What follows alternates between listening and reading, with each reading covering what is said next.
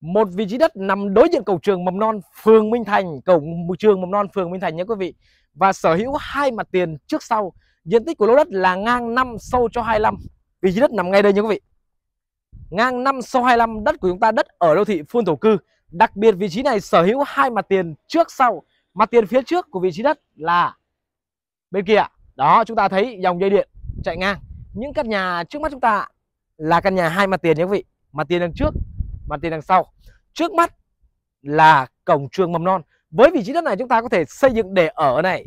Kinh doanh cho thuê buôn bán đều được. Và trước mắt chúng ta là những căn nhà bán cà phê này bán đồ dùng học tập cho học sinh của ba trường mầm non cấp 1, cấp 2 Minh Thành. Và kế những quỹ đất này là Ủy ban nhân dân phường Minh Thành. Và đối diện cổng trường cấp 2 Minh Thành là quỹ đất xây dựng trường cấp 3 và dịch vụ y tế của BKMX.